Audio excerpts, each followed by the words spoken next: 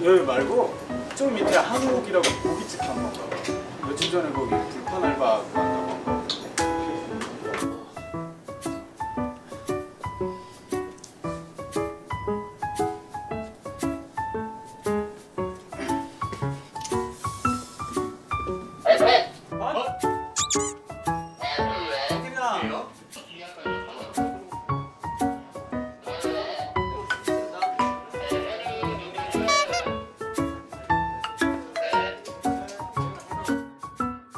네? 어, 그러니까 나오기 너무 싫어. 제가 지금 기력이 좀 안 좋아요. 살을 많이 빼가지고.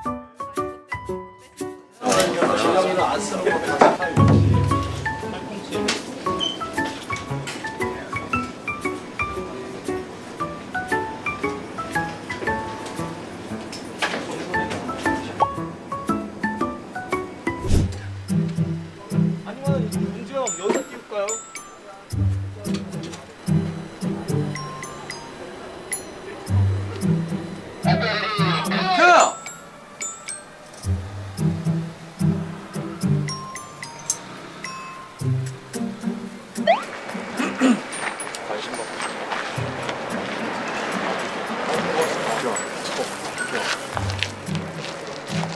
내가 못가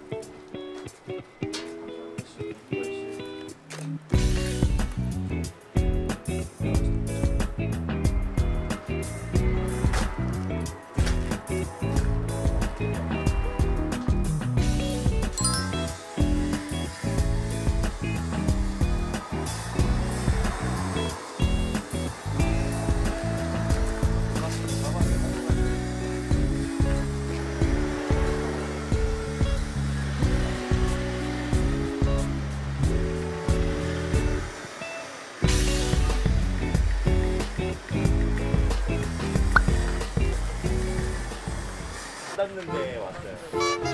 네. 저 옆에 있-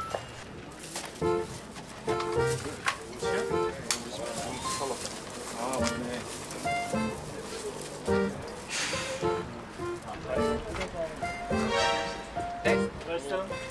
자!